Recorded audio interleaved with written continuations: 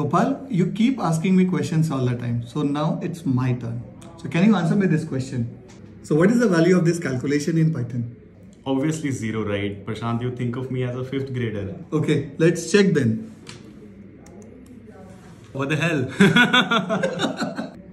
so I'll tell you the reason. So basically the Python kernel will convert any number into binaries, zeros and ones.